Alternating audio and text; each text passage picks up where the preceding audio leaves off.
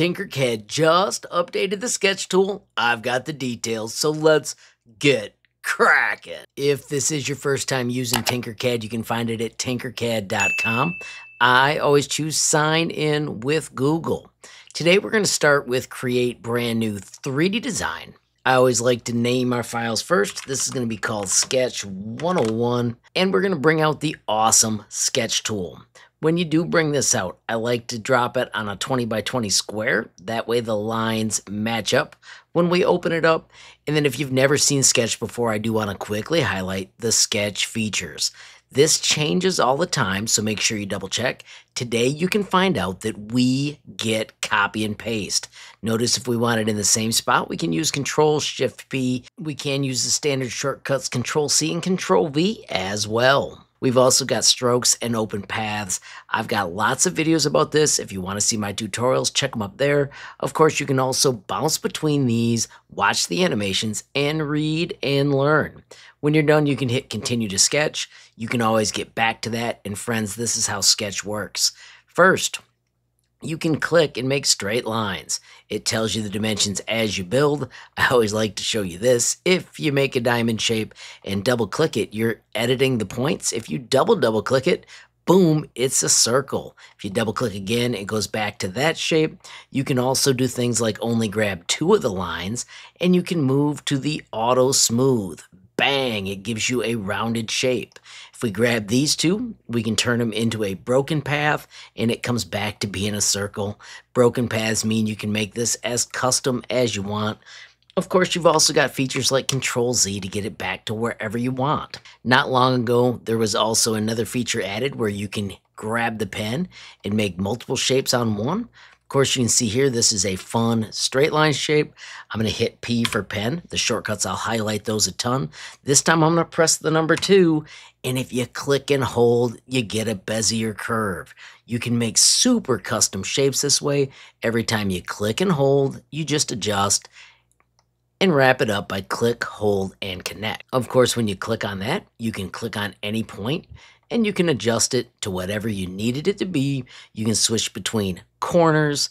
You can also do smooth and you can also do broken handles. I'll show you real quickly. This one has smooth handles. They move the same amount. Of course, we just had this one right here that had the straight handle. If you ever need a line to be straight, you can hit number one and bam, it drops into straight line mode. Just quickly highlighting features again. Once again, you double click to finish a shape. When you click on the next one, you get access to the stroke tools. I'm going to change this to a width of 1.5. And then you can also pick whether it's on the inside, outside, or center. See how that blue line moves around it? You can pick your corners to sharp, round, or beveled. One of the new features added today is we can break paths. Notice it just cut that off, so it is now a open path. Once you click on this, if we double click to edit, we can of course change it to a different shape.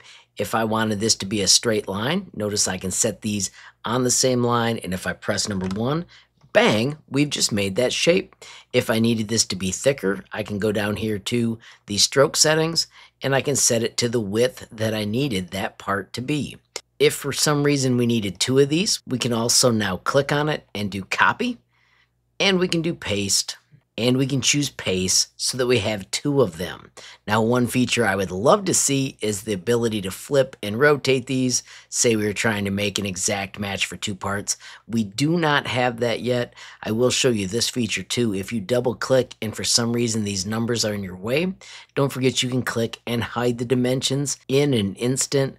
And friends, when you're happy with what you built, of course you hit finish sketch, and those are all one piece. So you can see that what I did was fun to show you. There are no seams on those parts. They're really cool, but they're not super useful. Check this out though. If we go back to sketch, I'm gonna drop this in and say I wanted to make a fun house. I'm gonna zoom out a little bit. I'm gonna use my straight lines to make the outside of the house. I'm just gonna snap to whatever design I want. I'm going to make it a rectangle. Notice I am trying to stay on that grid. And I'm going to click out here. Of course, super simple design. I am going to double click to edit it. And I want it to be a little bit more of a rectangle. I'm going to grab this whole wall and nudge it out here.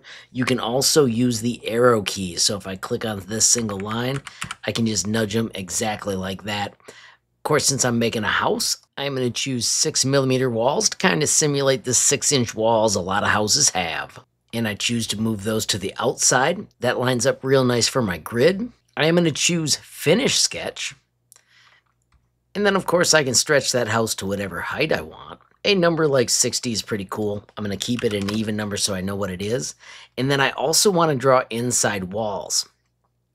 We are going to click on this one and do Control D, and we're going to double click to edit.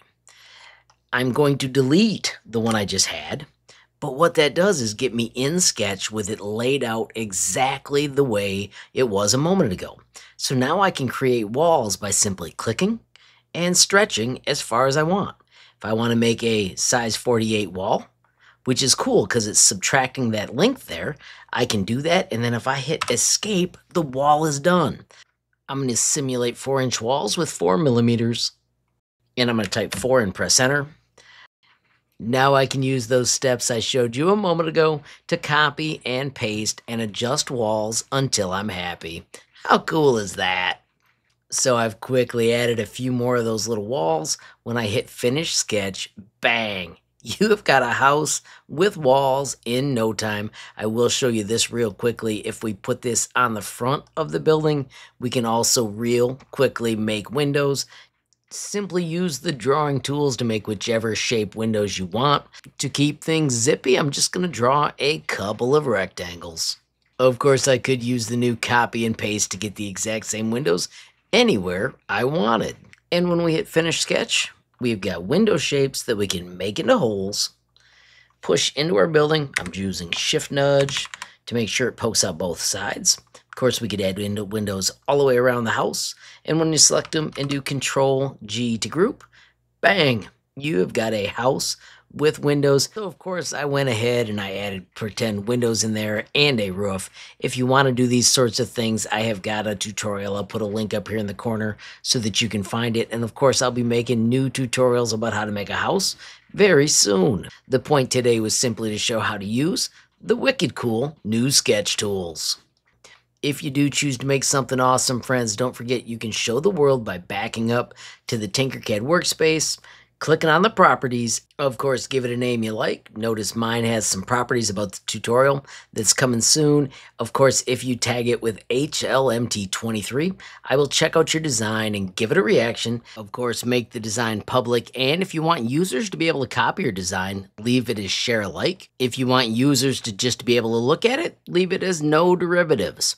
I'm going to leave mine as share alike and hit save changes. Friends, as I wrap up, first thing I want to say is that I'm looking forward to hear the cool things that you're looking to create using these sketch tool features. Of course, I'm also looking forward to seeing the cool designs that you share with the HLMT 23 tag. I also want to say thanks to everybody that support me via YouTube memberships. Don't forget there are three different levels of support starting as low as $5 a month. And with any level of support, you get early access to videos. A super huge shout out to my Patreon supporters as well. We passed 200 supporters yesterday. That group is absolutely fantastic. There is a messaging board that even free users can use. You really need to check it out. You can learn more with the bit.ly up above or the link in the description. Finally, friends, I want to thank you for watching. Don't forget every time you hit that like button, share a video, add a comment down below, or click subscribe. You're helping HL ModTech get just a little bit bigger, which absolutely makes my day.